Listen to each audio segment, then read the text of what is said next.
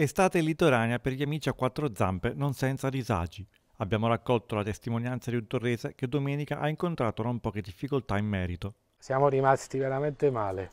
Uh, quasi tutti i lidi non accettano l'entrata di cani, anche di piccola taglia. Solo uno, faccio anche il nome perché veramente è una persona, Lido la Conchiglia, ha accettato diciamo, l'entrata del cane senza, senza fargli fare il bagno.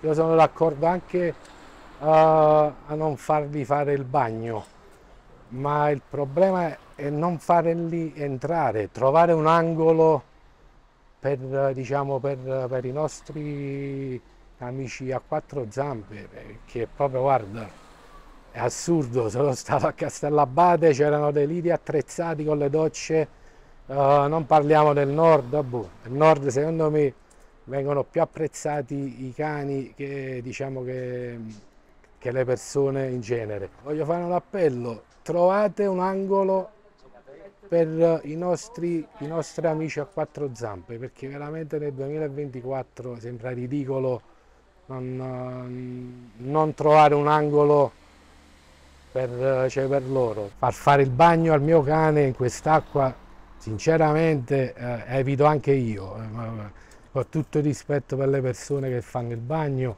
eh, ma se lo porto è giusto per stare un po', un po insieme, insieme, ad amici, eh, prendere qualcosa sotto all'ombrellone e poi andare via.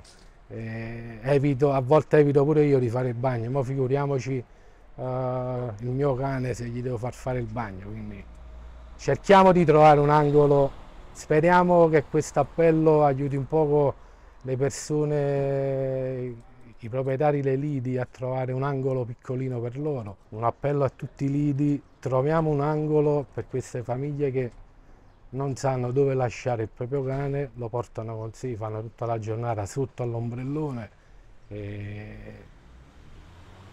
quindi riusciamo a risolvere il problema. Speriamo perché il 2024 eh, trovare ancora questa situazione, specialmente qua giù, sembra, sembra, sembra proprio ridicolo.